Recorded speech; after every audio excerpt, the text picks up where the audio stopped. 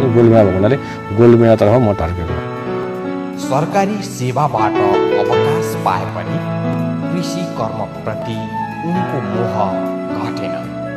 बरु बढेर गयो।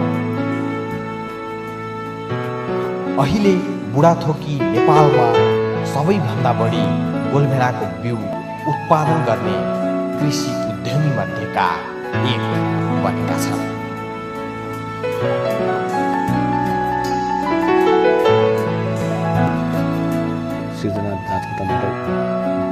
उत्पादन गर्नलाई म नार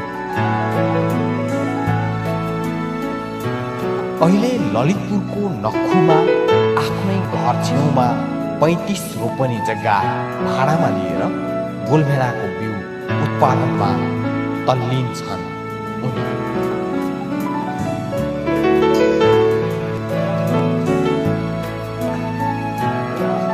उनको फार्ममा झन्डै बिसजनाभन्दा बढीले रोजगारी पाएका छन्